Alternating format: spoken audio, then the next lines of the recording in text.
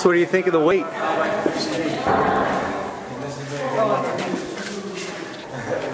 Okay, smarty pants. Oh, look at this. Getting down. I can't even walk. Couple steps. I can't walk up steps right now. This isn't too bad. I should just. I'll try. A couple. Because you don't want your heel and not get in trouble, we'll only do. Just do a second. Okay, you ready? Yeah. Okay. Oh, you're holding on. I have more weight than you. I've got two jackets on.